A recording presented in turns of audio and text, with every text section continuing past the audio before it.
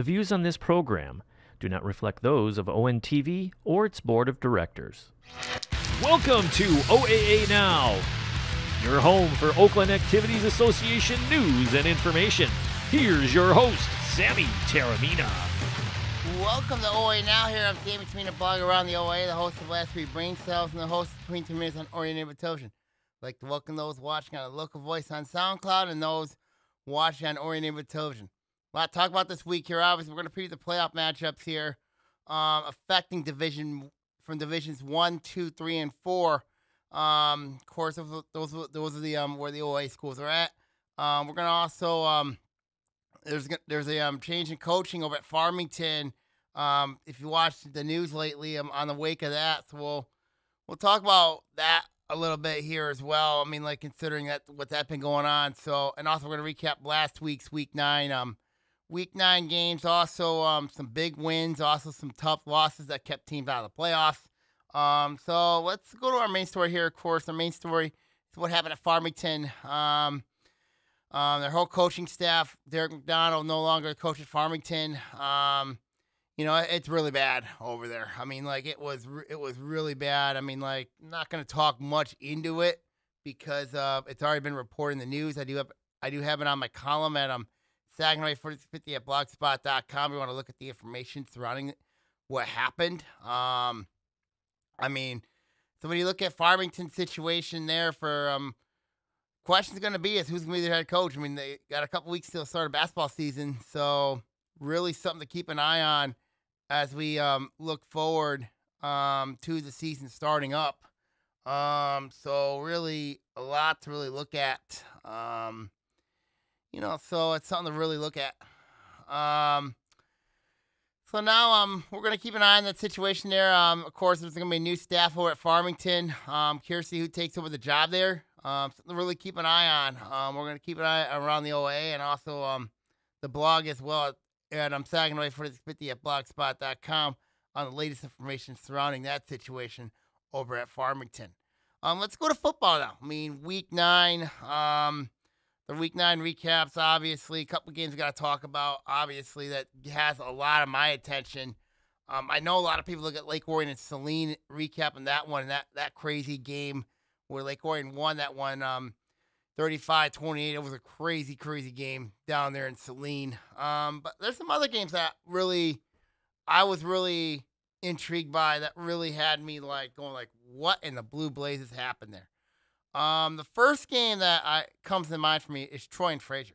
Um, for Troy, if they won, you know they're gonna be in the field. Um, they'd be in the playoffs. They'd be in the in the field. Um, just saying is that you know when you look at the Colts, um, you know it'll be interesting to see. I mean, like um, but that game was a tight game. I mean, it was, you know, Troy ended up scoring a touchdown, took a took a 19-14 lead, couldn't get two point conversion. Then Fraser goes down and scores um, with virtually no time on the clock. Um, on a on a, um, it was a really, it was a slant pass um, for a touchdown where Nolan Block got caught looking and then just couldn't come back in time.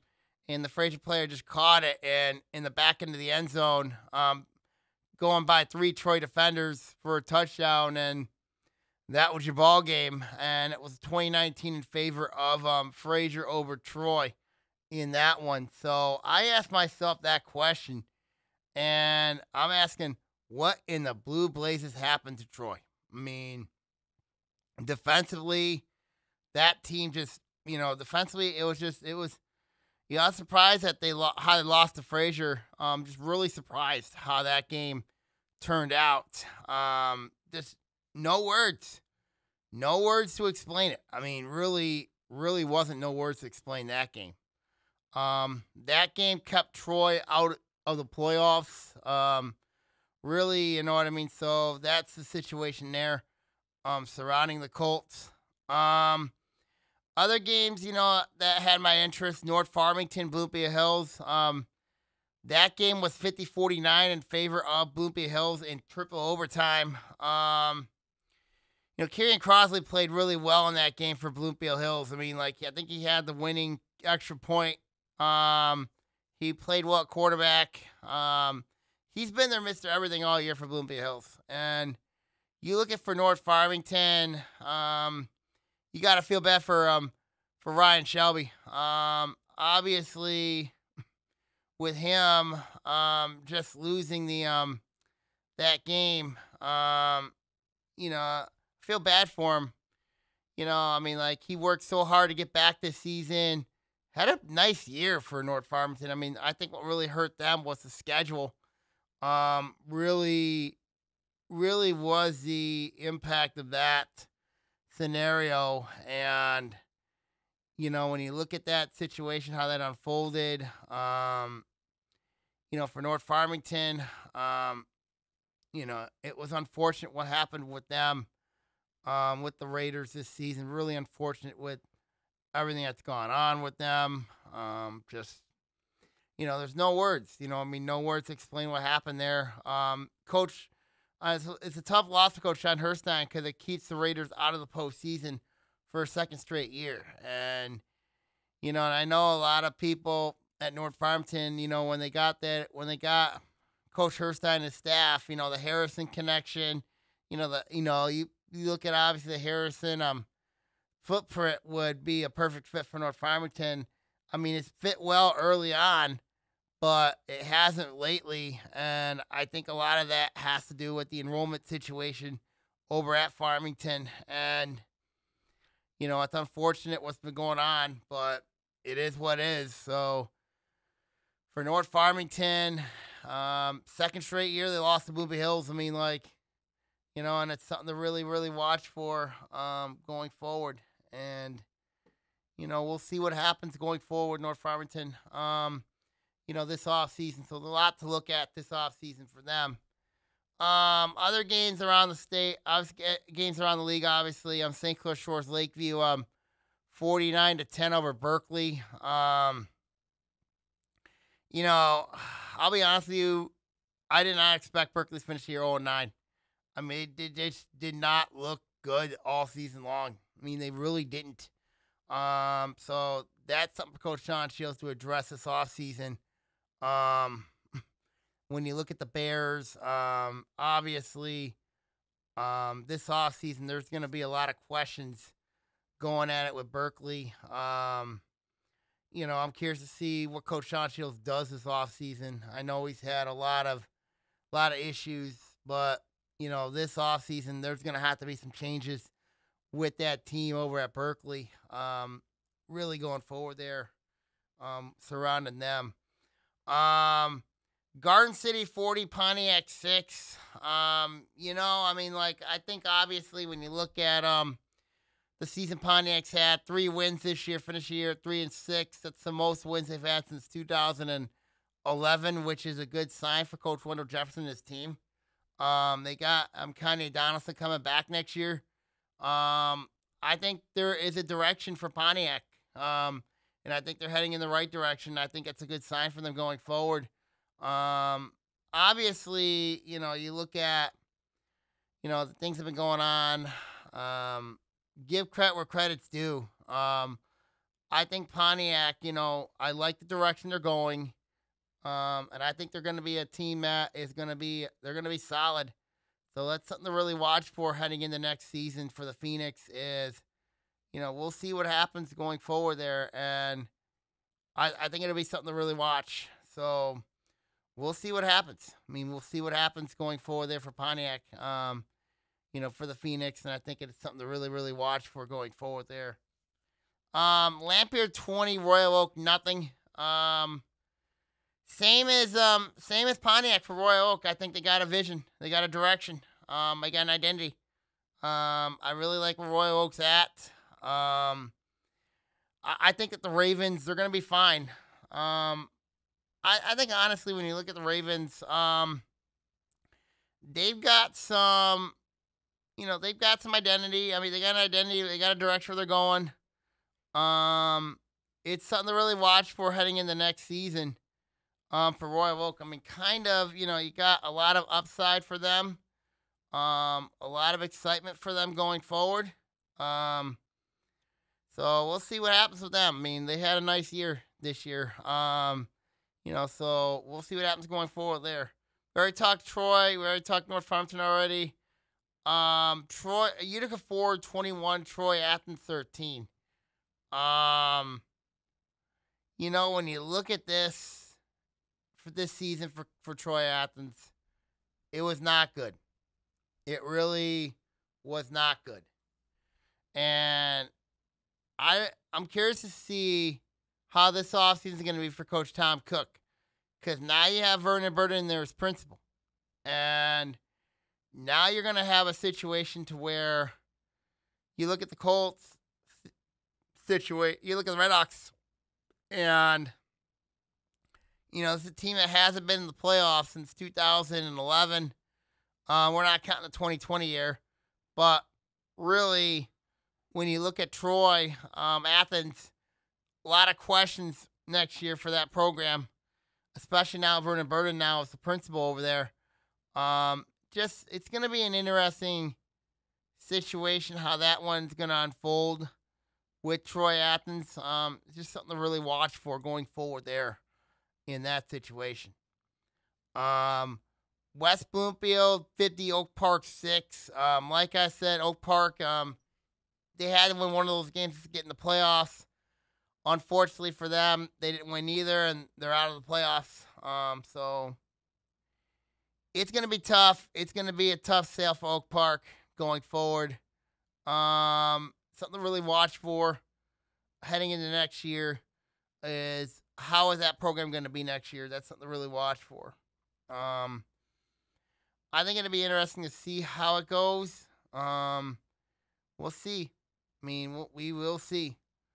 Um, and then Grove Seaholm, of course, that was the, one of the best games of the year. Um, Seaholm 21, Grove 14. Um, Seaholm's offensive line just dominating that game. Um, the Keeney brothers were solid. Um, of course, um, you know, Kyle Robbins had a nice game. Um, Jack Lewis had a nice game. I mean, in all reality, when you look at it, um, it's kind of interesting to explain how that game's gone. Um, you know, we'll see. I mean, what happens there going forward there, and I think at the end of the day here, um, Troy Athens, um, I think at the end of the day here, Troy Athens, I mean, I think at the end of the day here with Seaholm, um, you know, they're rolling right now at the right time. I'm heading in the postseason. Um, and then on Groves' side, we're going to talk them. For them, it's just, you know, I think they're fine, but they've really got to toughen up up front. And it, it doesn't feel, it feels unusual considering you have a, um, a D1 lineman and Avery Gock who really did not play well in that game. Um, and then, of course, he had both Hardy brothers scoring a touchdown early on to start that game, and then Seaholm just really dominated from here on out that game. So, you know, so it's something to really adjust for for Coach Brendan Flaherty um, to really look at with Groves. Um, something to really watch. So, you know, we'll see what happens to them going forward there um, when it comes to the Falcons. Um, we'll see.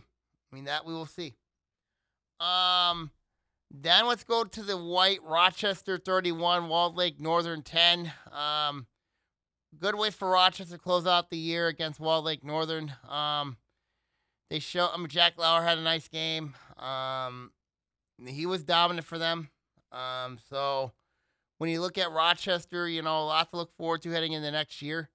So it's something to really watch for heading into next season for them. Um, Harper Woods, um, we already talked Boomby Hills and um, talked Boomby Hills and um, North Farmington already. Um, already talked Rose Seaholm already. Um, Arson Tech 41-14 over Detroit Renaissance. Um, good bounce back game for the Warriors. Isaiah Marshall had a bounce back game. Um, you know, so when you really look at it here, I mean, like it was kind of like a um, it was a um, it was a complete domination by the Warriors in that game against the Phoenix. Um, so South Arts and Tech, they're gonna be they're rolling the postseason with a ton of confidence going forward there. Something to really watch for there with A and T, um, going forward there. Um, Harper Woods 24-7 over Roseville at Ro- Adam.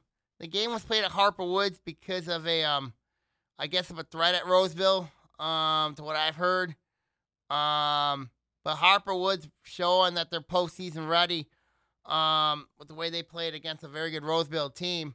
Um, Roseville, of course, let's not forget this is the same team that knocked off Romeo um, in the first round um, of the postseason. So, you know, in, the, in week two. So this is something to really watch for um, going forward there.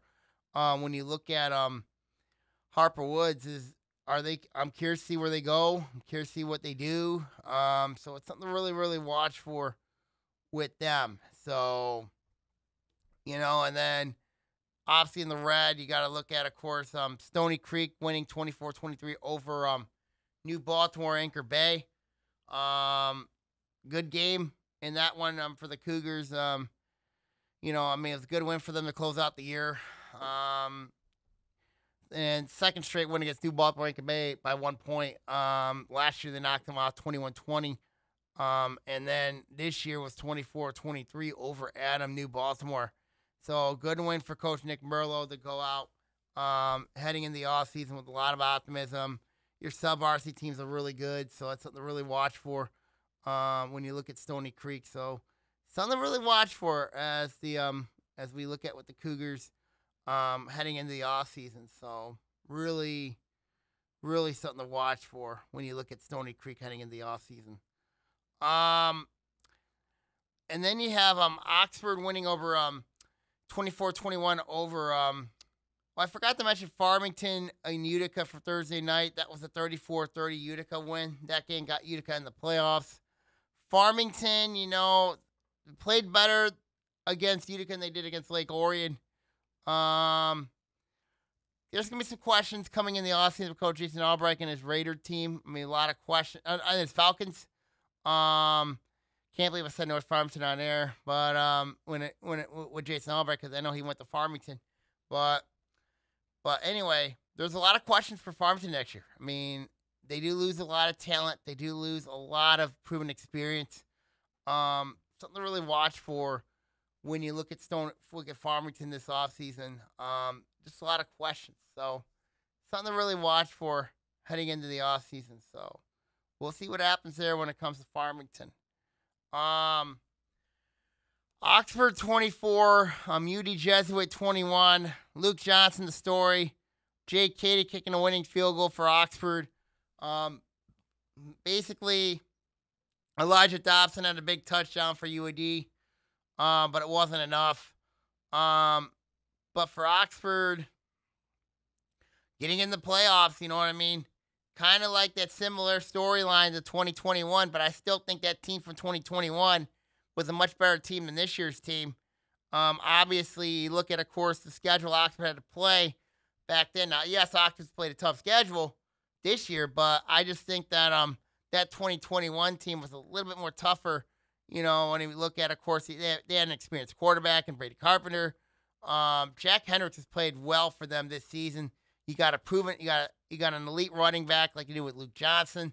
Um, wide receivers a little bit question mark, but I know the Katie brothers been playing well for them.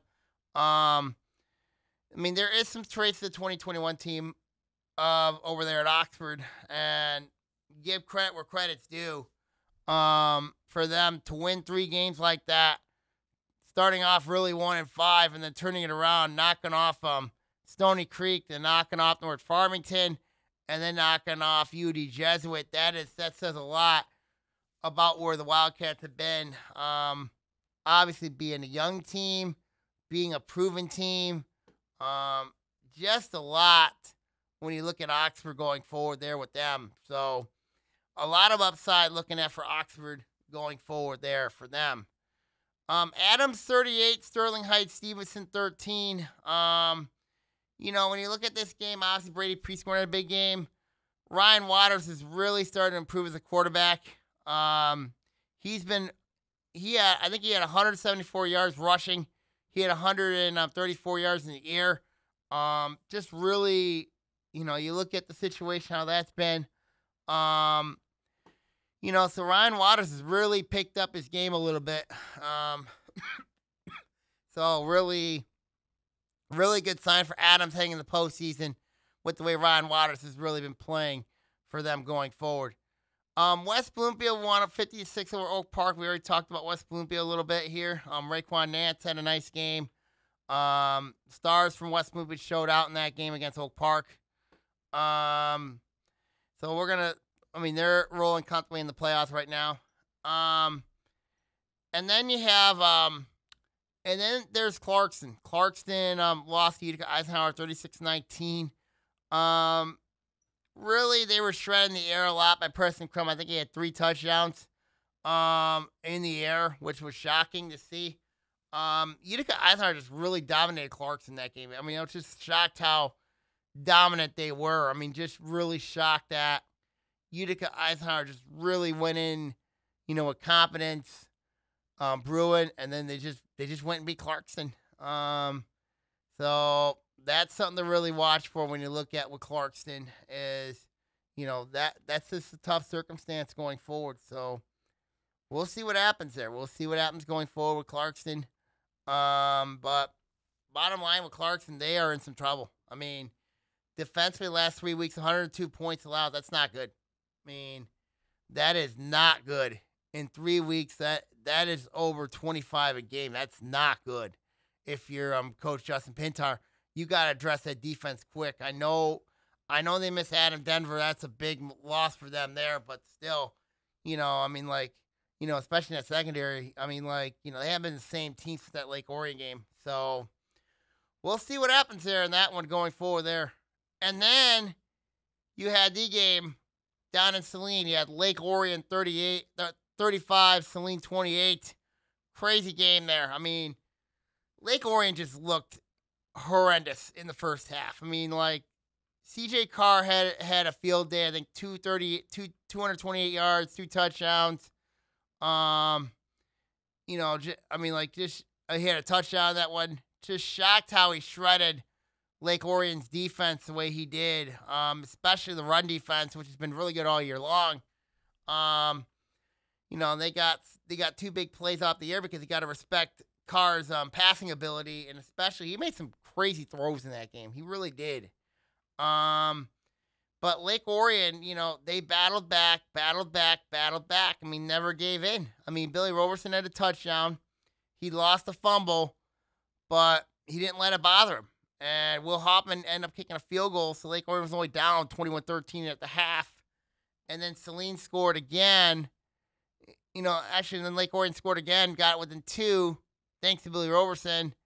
And then Saline went down and scored um, with CJ Carr running it for a touchdown.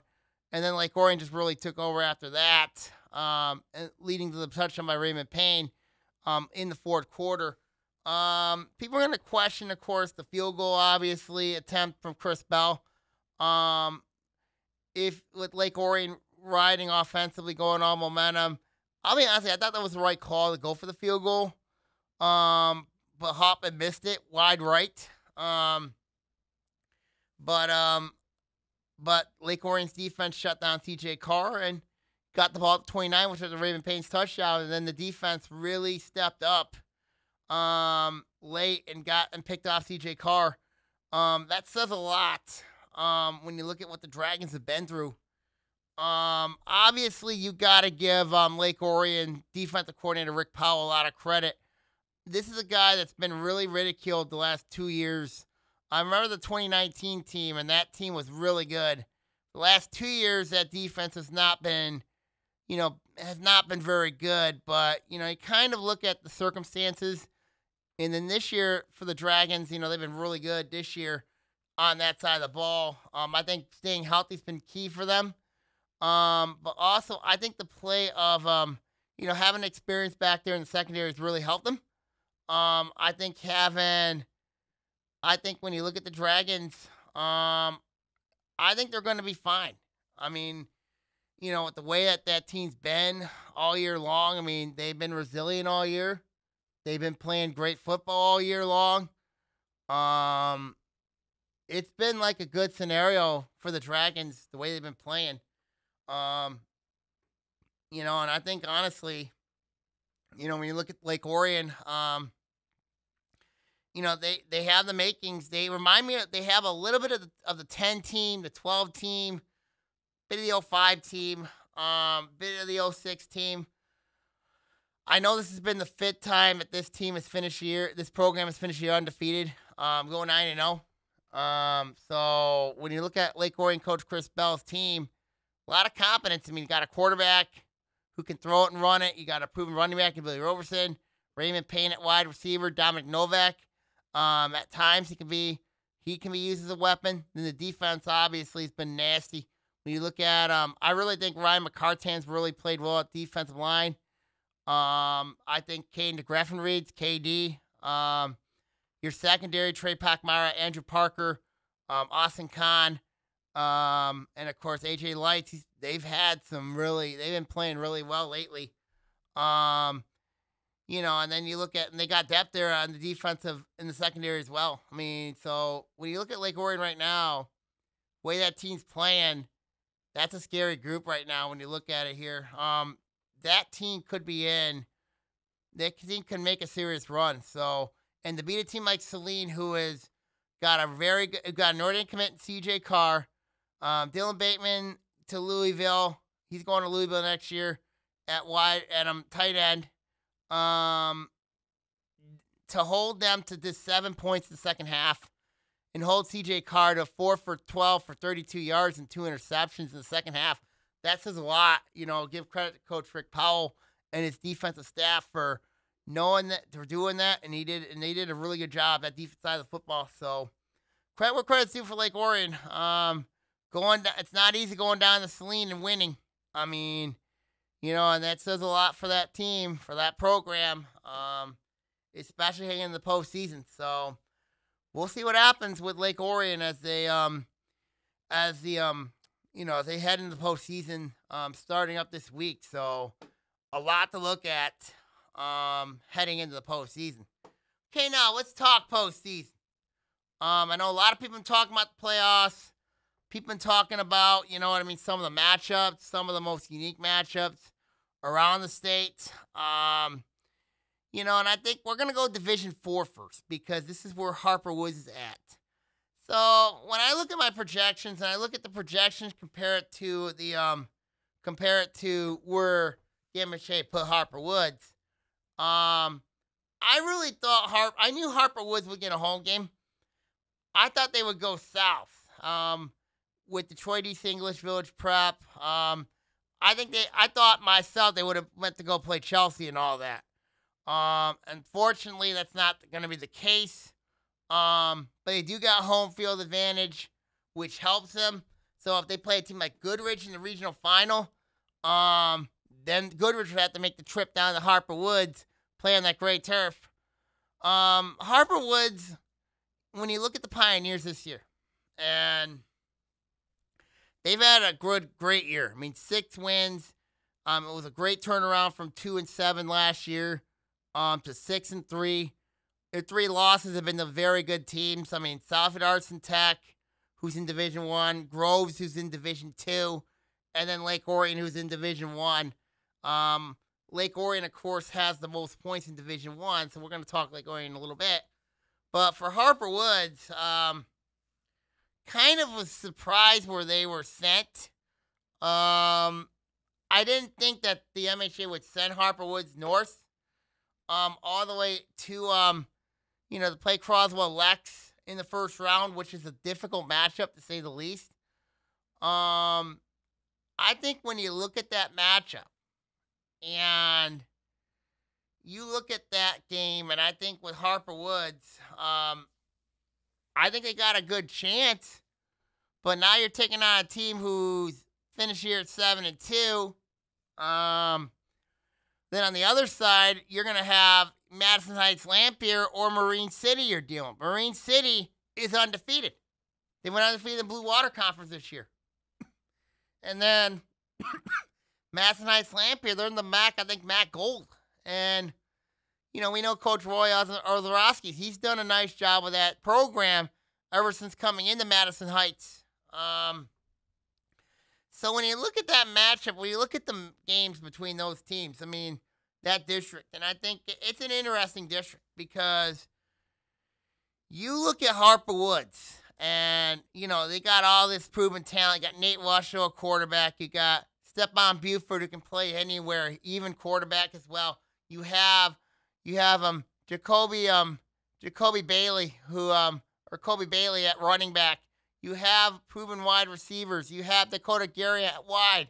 Your defense has been really good all year long. And for Harper Woods to have the number one seed in Division Four makes a lot of sense. I mean, you don't have to see the defending state champion Grand Rapids Catholic Central until maybe the state final. I mean, pending if they get there. So when you look at Harper Woods' case, it's kind of a good draw for Coach Rob Oden. Um, but I was just surprised. I thought they would go more south instead of having to go north. But the good news for Harper Woods fans is all those teams have to go north, who are north, have to come south into Harper Woods the Wayne County.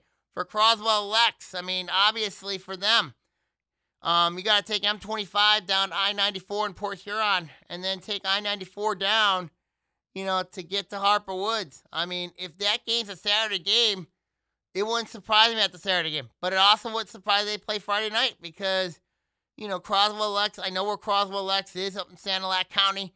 Really nice area, by the way. Um, you know, but I know Croswell Lex very well, and for them to have to go down there, I know a lot of people in Croswell Lex have to be very upset.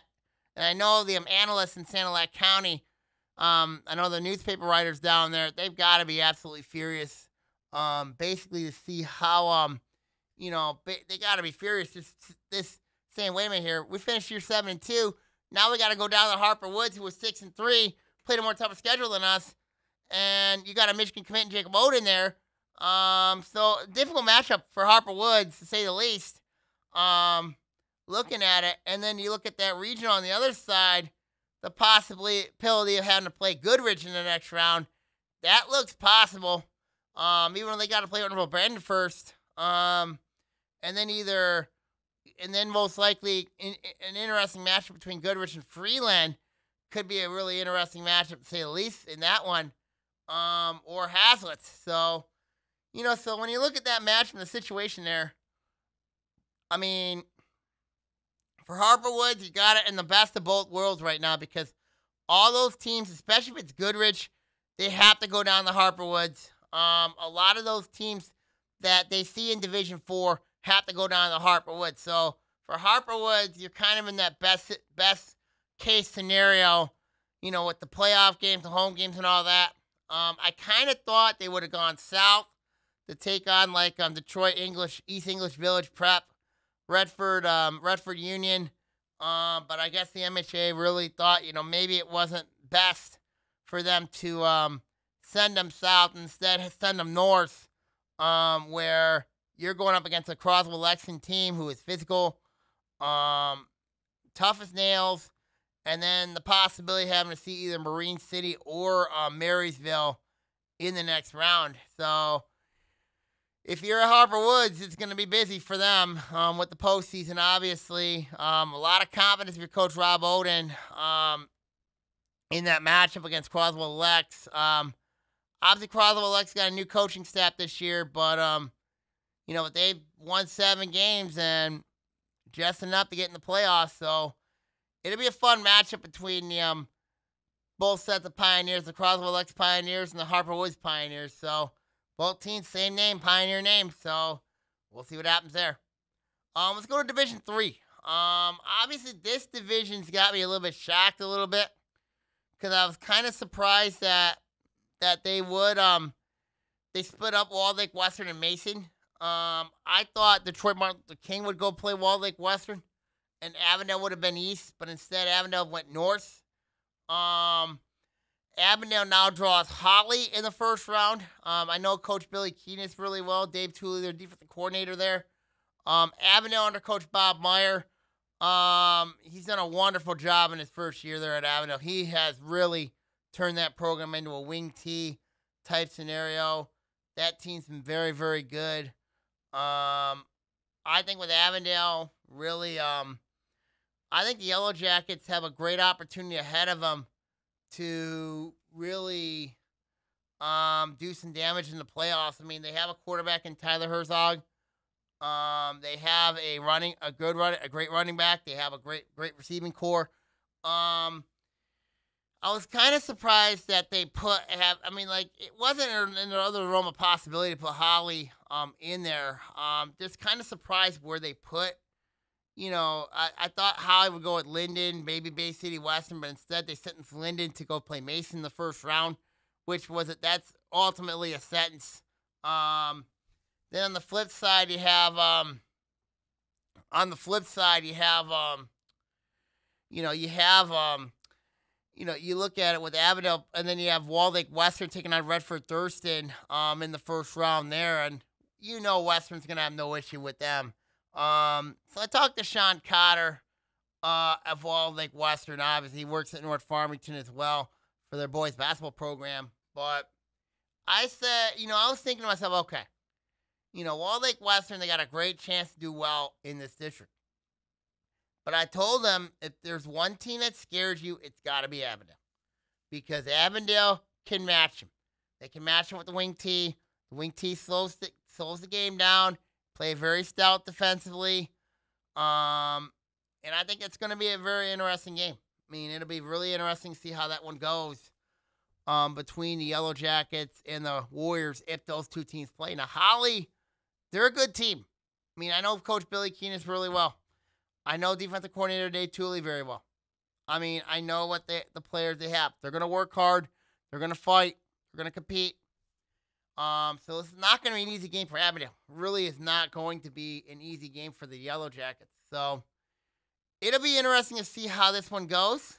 Um, I think it'll be a it'll be a war between two teams that you know they they do know each other quite well. They played three times. They played twice last year, uh, two times in the last two years. I mean, they played once in them. I mean, Ho- Avondale won both meetings against Holly.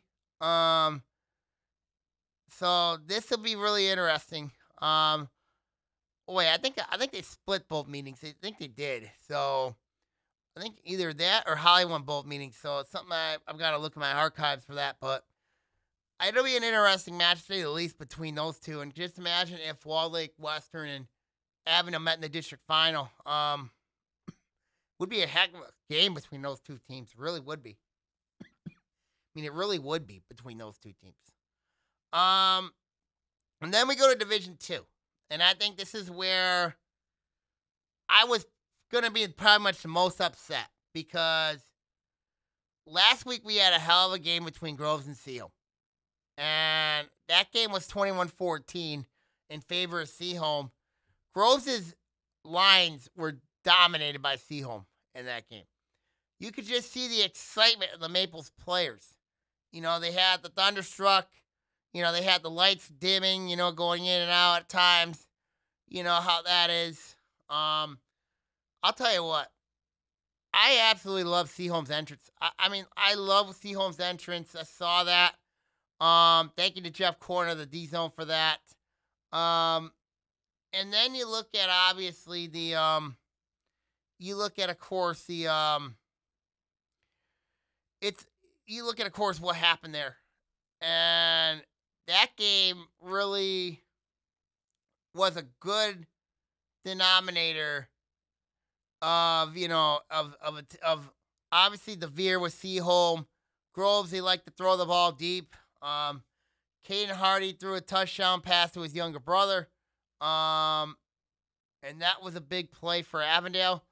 Um, and I think honestly, when you look at the situation here, um, the Yellow Jackets, you know, when you look at the Maples, yeah, the Maples are in the lower division in the blue this year, but Grow and Groves played in the white this year, so it kind of surprised me, you know. So I thought, okay, Groves and Seaholm, whoever won that game was gonna get a home game. Luther would have to go on the road. I thought Groves would play Waterford in the first round, and I thought Seaholm would play Lakeland.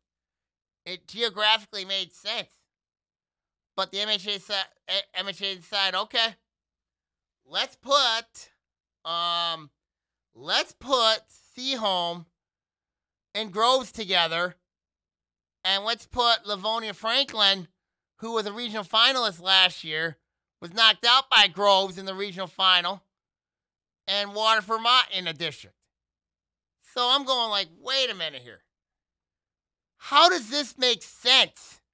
How in the world does that make sense?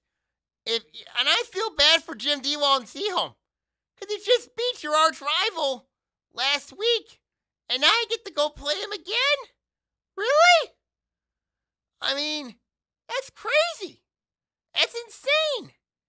The Battle of Birmingham Part Two. You know, yes, I you always expect Groves and Seaholm would play each other twice a year. You always would expect that. But not in like the first two weeks. How do you punish Groves considering that loss to Seaholm? How? How do you explain that? Groves has played a by far tougher schedule than Waterford Mott. How do you explain that? I would love to know Mark Uyl's explanation about why in the why in the world is Groves playing Seaholm and instead you put Waterford Mott, you award them with a home game. To me, Waterford Mott doesn't deserve a home game. So you tell me that right now. Groves got robbed. And now they have to play their arch rival again. And I feel bad for Seaholm. Because I thought Seaholm was going to play Lakeland. I thought that. So now those two have to play each other again in the first round. And Livonia Franklin goes and plays Waterford Mott. That benefits Mott. Really did. So the MHA rewarded Waterford Mott. They really did. Oh my goodness. I feel bad for the I feel bad for the kids at Birmingham Groves and Birmingham Seaholm. I really feel bad for both those teams. Really do. I think those two schools deserve better. But now they got to play each other again in the first round. After playing last week in a game that was dominated, I thought, by Seaholm. So that's my take on it. It's my rant of the week. Is why is Waterford Mott rewarded a home game and not Groves? Groves has played a by far tougher schedule than Waterford Mott. I mean, by far tougher. So that's my take on that. Let's go to Division One. Um, Southfield Arts and Tech has a number one seed. I thought West Bloomfield would have a number one seed. Um, but A and T has that, and they play Dearborn Fordson first. Um, and then that winner is either going to get Detroit Cass Tech or um, or Westland John Glenn. Westland John Glenn's had a great year this year. They really have. But the loss to Novi really hurt them. I mean, it really did hurt them. Was that home loss to Novi. Because it kind of, you know, you kind of expected Novi, you know what I mean? You know, to go down the way. Now, John Glenn, yeah, they've had years of struggles. They've had years where they've really struggled. But they had a great year this year. I mean, the Patriots, they've had a great year. But when you look at the schedule and you look at the district that they're in, you look at, of course, having to see Detroit Cass Tech, and they got a good quarterback. I think, And is it Corey Sadler's the quarterback there? Yep. And Sadler's played, has had a nice year for Detroit Cass Tech. He's had a really nice year quarterback. Um, I remember what he did against West Bloomfield last year in the um, first round. What he did to them was just insane.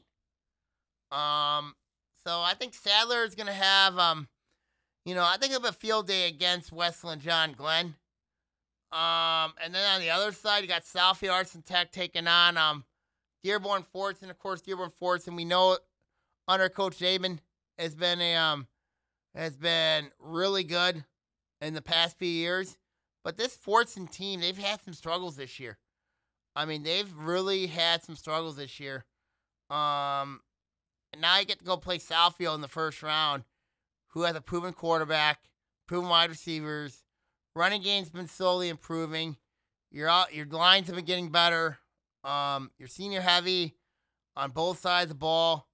Um, it's an interesting matchup. Really is. Um, so I think you're looking at it's going to be very interesting how that one goes. Um, we'll see how that one really goes in that game between the um between the Warriors and the um, Tractors in that game over in um Southfield. So something to really watch for in that game. Really is. Um, then we have West Bloomfield and Utica Eisenhower. Um, this one's gonna the West Bloomfield and um Adams. My bad. I apologize. There, Utica's playing Utica Eisenhower. Um, West Bloomfield's taking on Adams. Now, this was a kind of a shock to me that the MHA made this matchup. It's a week five match. It's a week five rematch after Adams won lost 36-32 to West Bloomfield in the swamp in week five. Um I talked to Kyler Kept of um, Civic Center TV about I mean like on um, Sunday night about you know about how how much both these teams have improved. And I also think for Adams' case, Ryan Waters, has he improved? You know, last three weeks he's been playing really good football. I mean, ever since the loss to Lake Orion, he's really stepped up his game. Um, and then you look at, of course, um, you know, the play of Brady Prieskorn. You know he's playing with a heavy heart after um what happened to his father Jerry. Um, so you know he's playing with a heavy heart. Um, if you're West Bloomfield's defensive coordinator, this is an absolute nightmare for you because you're going against a team that runs a veer.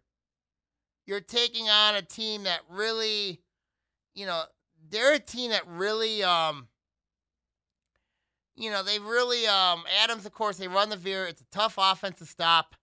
Um, it's a difficult environment for, um, for, um, West Bloomfield, you know, considering, you know, how hard the veer is to stop.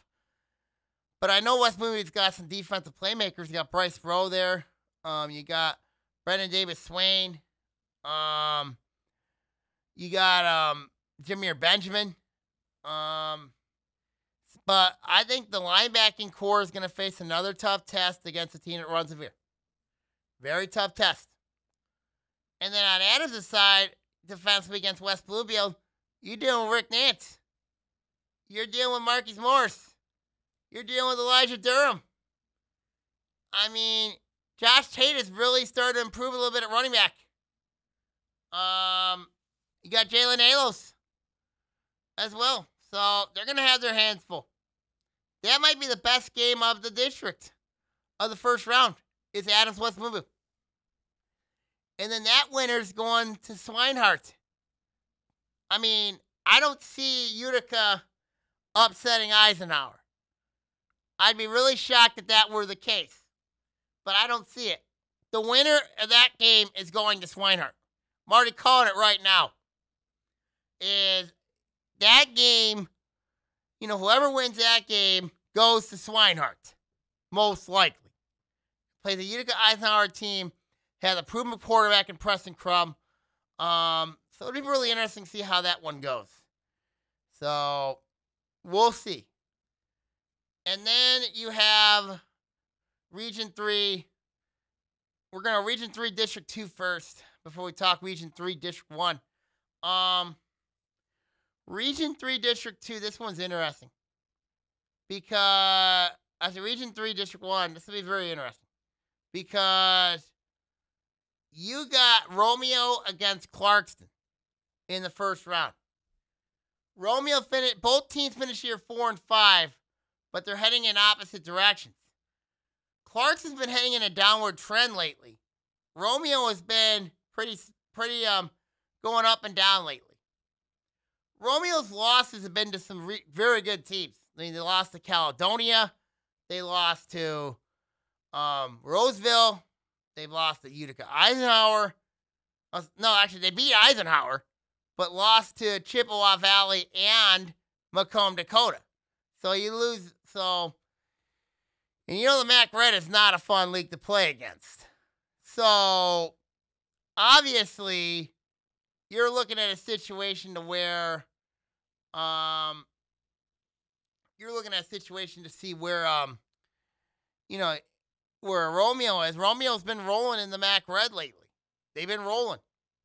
I mean, they had a good win against Grand Blanc, 29-23 the other night.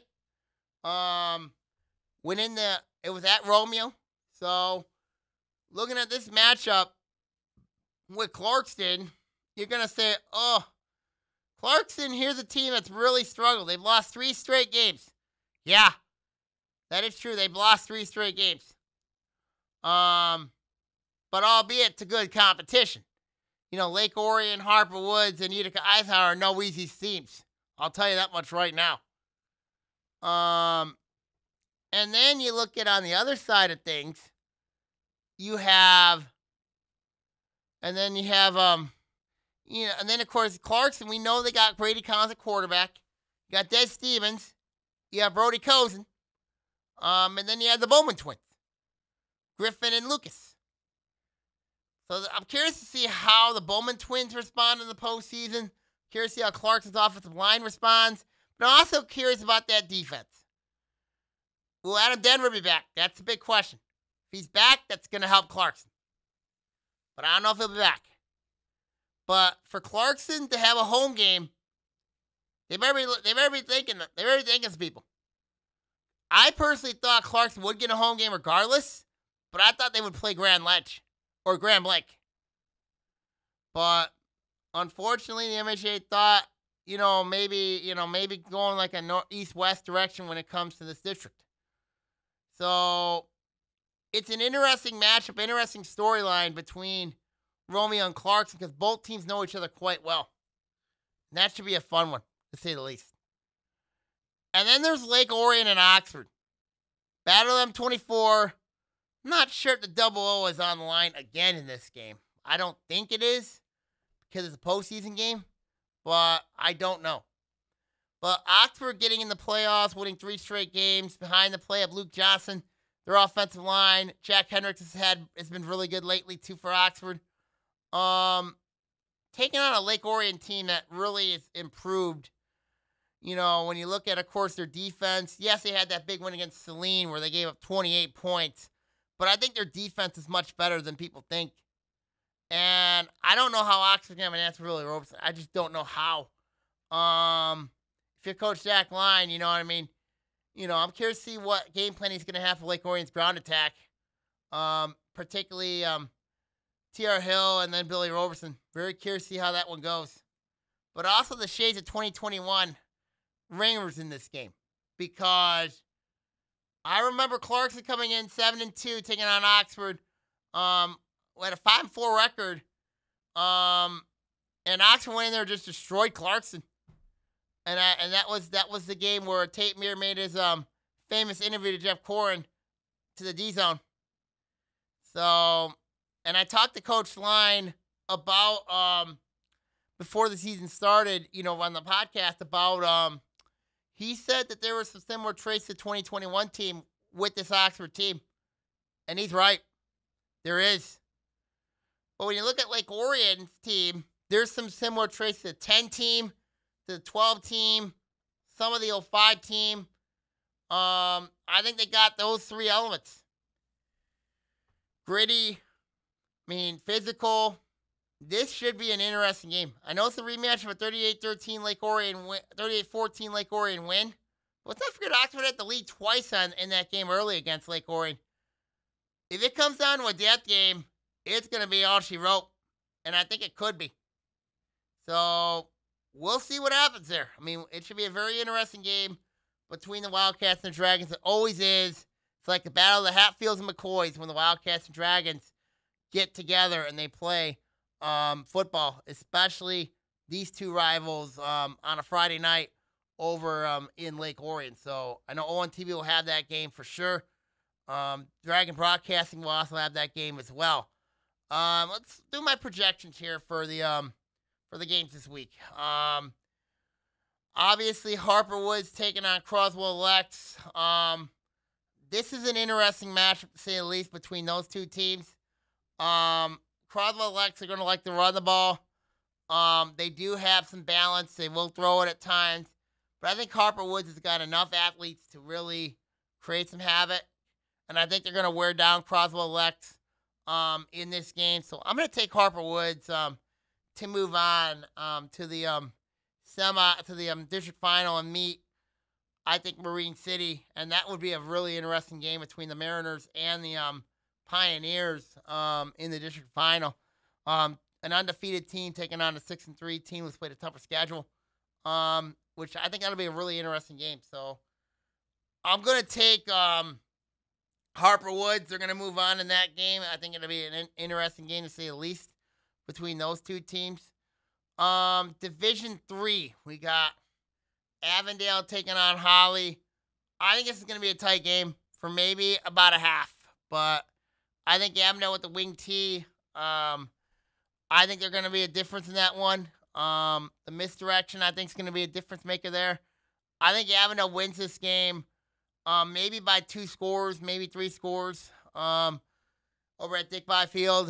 Um, I just think Avondale, the way that they're playing right now, they're clicking on all cylinders, especially what they did against Warren Fitzgerald, winning 50 to 20 in that game.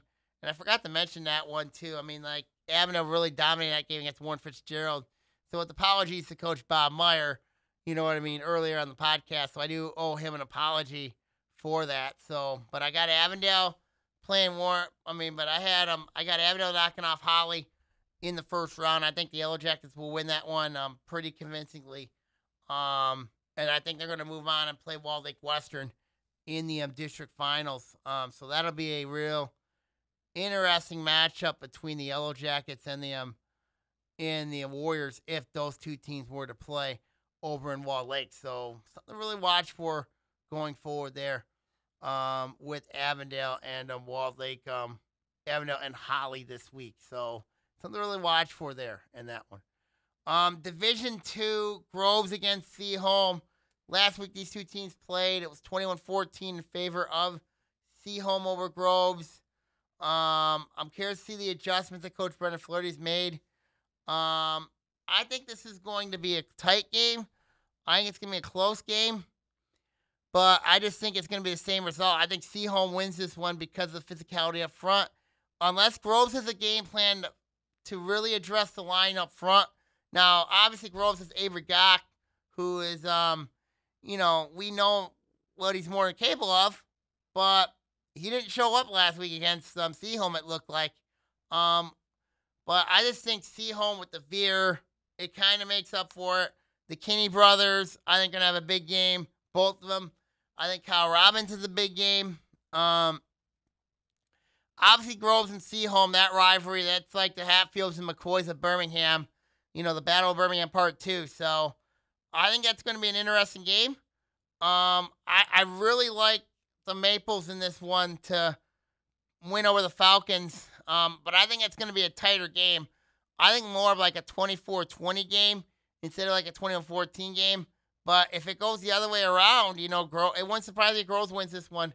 But I'm looking at this game right now. I got Seaholm winning this one over a very good Groves team um, heading in that matchup there. All right, let's go to Division One now. Um, got Southfield Arts and Tech taking on them. Um, Dearborn Fordson.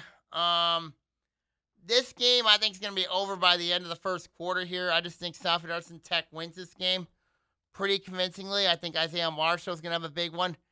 I think the Warriors will probably get maybe around 35 by by halftime. Um, I mean, if Fordson keeps it close, I'd be really shocked here. But I just think that the Warriors, the way that they're playing, um, their high octane offense, I think they're going to get the job done. And I think they're going to play Detroit Cass Tech because of I think Sadler's the difference in that game. I think he's going to have a big game against Westland John Glenn.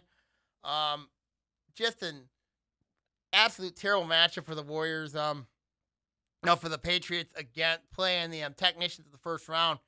Um, it'll be a tough matchup for Westland John Glenn, but I just think at the end of the day, I'm gonna take um, I'm gonna take um, Detroit Cass Tech, and I see a, a final between Southfield Arts and Tech and Detroit Cass Tech. Um, and then you have West Bloomfield and Adams. Like I said, the winner's going to likely take on Utica Eisenhower. Um, I like West Bloom in this one. I just think that the Lakers um, have enough offensive weapons. The firepower's there. Um, Adams, Brady Prieskorn, and obviously I think it's, it's going to be a tight game like it was back in week five. I just think at the end of the day here, I'm gonna take the um, Lakers over the Highlanders here, and I think it's gonna be an interesting game to say the least. Something to keep a close eye on in this matchup, to say the least, between those two teams. And then you have Romeo and Clarkston. Um, I got to apologize to my Wolves friends here. I got Romeo in this one. Romeo's played a tougher schedule. Um, I just think Romeo has got enough weapons here to hold Des Stevens in check. Um, I just think that um, you know, and I, I, I Clarkston, the way that the team's been playing defensively scares me. Um, I, I just think that the um the Bulldogs are coming in with nothing to lose, everything to gain. Um, I like the Bulldogs in this one to knock off the Wolves. Um, just because the way Clarkston's been struggling. Um, so we'll see what happens there in that one. And then you have Lake Orion and Oxford. Um, I think Oxford keeps this close for a half. I really do. I mean, but I mean, like obviously play Luke Johnson, their their offensive line. Um, you know, I think they're going to give the Dragons a scare. But I think in the second half, like Orion pulls away here, and I really, I think behind the playability, Roberson, T.R. Hill. Um, I think the Dragons, the way they played against Saline, um, I think they're going to find a way to win this game. Um, you know, I think, you know, 38 13, 14 last meeting between those two teams. I think it could be worse, but we'll see. I mean, it'll be an interesting match to say the least for sure between the Dragons and the Wildcats. It always has been. Um, Ox, we know about the 2021 upset they had with Clarkston. Um, and, you know, it could happen, but I just don't see it. So I'm going to take Lake Orion in this game um, to knock Oxford off. I, I just think the Dragons find a way to win this game. So, and move on to the next round. So we'll see what happens going forward. All right, everyone, signing off here. I had the volleyball districts up on the blog at sangamabay4650 at blogspot.com. Also, we have the, um, you know, we have my projections that were forming my projections. Um, we have the um, my postseason thoughts of each team. Um, also recaps as well on the blog. Well, also in the soccer regional previews as well. Of course, we have Adams taking on um, Adams taking on Troy Athens and um, Adam Troy, and then also Oxford taking on Novi Detroit Catholic Central. Um, so you can take a look at my blog at and Bloomfield Hills is also playing as well in there. Um, also take a look at my blog at sangamabay4650 at blogspot.com for all that, everything, all the latest information around the OA. So awesome congratulations to Bloomfield Hills' um, tennis team, and awesome congratulations to Adams girls golf team repeating as state champions for um, girls ten for boys tennis and girls golf respectively. So good seasons to both teams, giving the OA the first two state championships of the season. So all right, I'm gonna sign off here. Um, take care, God bless, and I'll see y'all next week. Take care, and I'll see you then.